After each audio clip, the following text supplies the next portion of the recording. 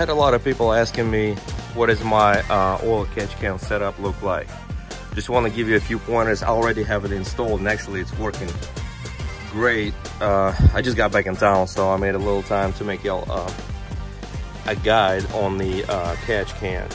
So here is the way it looks like with the engine cover on. It's two cans. I got them both from Amazon. I will attach links to it. And they look, I think, pretty legit, pretty factory. Or at least look pretty impressive for a fairly cheap setup. So here's what it looks like. The engine cover is on. And I'm about to take things apart and let you know and kind of guide you through where, what goes where. As well as uh, what do you need for the install.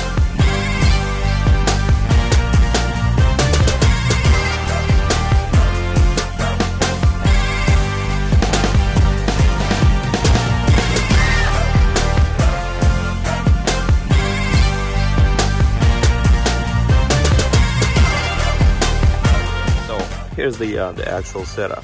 So as I mentioned before, um, I got both cans. It's called Speed Wows. They actually have bronze filter on the inside, and the install overall is pretty simple.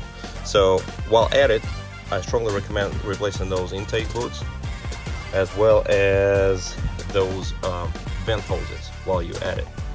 So to get the vent hose, you just see two uh, two Torxes there and just turn it counterclockwise and it just it comes out. So long story short is what you need for this is pretty much very simple. You will need 5 8 holes.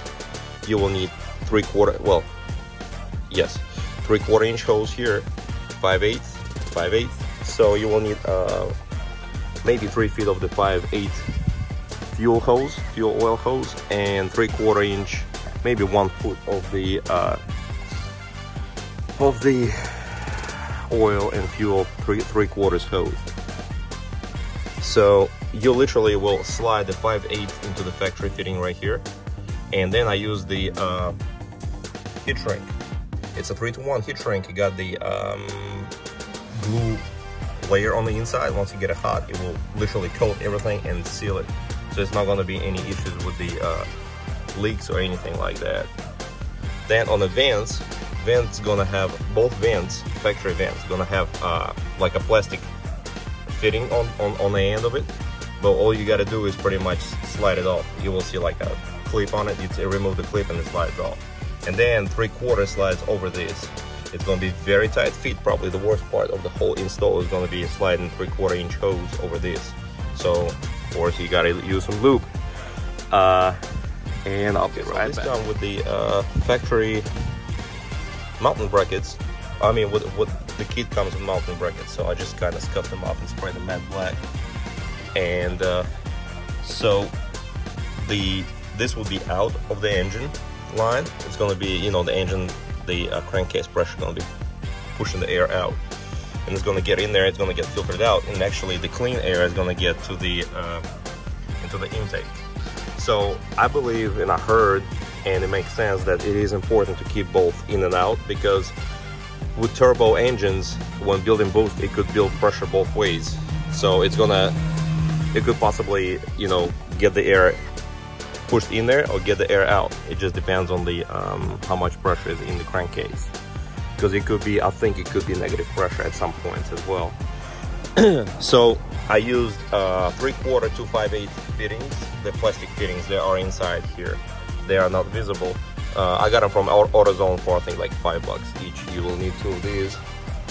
And uh, I use these protective heat shrink, I mean, not heat shrink, protective sleeves to actually get the, um, uh, just to make it look presentable and everything looks pretty factory as, as, you see. Okay, so to sum it up, it's we get two catch cans from the uh, Amazon. I'm gonna attach these uh, links in the description. You get those two catch cans, they come with the factory, um, I mean not the factory, but those brackets in the kit. I had to modify it a little bit. This is how I'm on this side. You get uh, three quarter inch, one foot of the three quarter inch hose, oil and fuel. You get about, I'd say three feet of the, uh, maybe four feet just to, you know, play it safe, four feet of the 5 8 hose.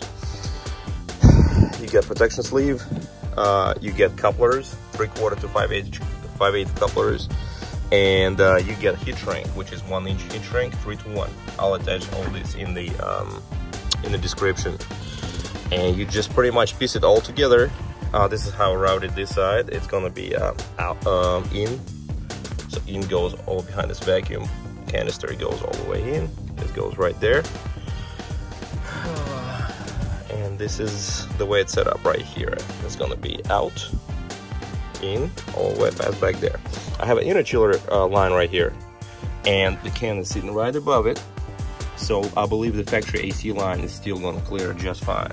I also get instead of regular hoses uh, hose clamps I get those brusher clamps. They look factory and I think they they hold extremely tight and they are they're not gonna give. So that's why I run on this as well. And that's pretty much it I will attach pictures of what they're collecting but to check your catch cans you pretty much loosen those two bolts right here and remove the catch can unscrew it. Um, what I've done before is I can I would bend it back a little bit and it should clear that as well. There's your dipstick. To see if there's anything in there. Uh, some kind of gunk on it at the end. Focus. Okay. And that's pretty much it. it does have some yucky yucky stuff on it and that's about it. I will attach links in the description to everything I used it's it's super easy install. I'd say probably a couple hours if you take your time. And it definitely keeps all the yucky nasty stuff out of your intake and out of your combustion chamber. Definitely worked for me. Making a video next video for the power steering and it just crossed my mind. So very important is to keep this system airtight so instead of whatever this this kit comes with the rubber um, o-rings in there i use crush washers and red loctite so it doesn't spin off. And also very important to use those special fittings because the um, the hose clamp regular hose clamp i believe is going to be cutting those hoses and it's not going to keep it tight. Well this keeps the pressure equal and it keeps it tight all the time. So you will avoid any possible uh, air leaks past the mass airflow sensor so this is very important. You see those crush washers red loctite same on this side. Crush washers red loctite special clamps i'll attach everything in the description. Mm -hmm. bye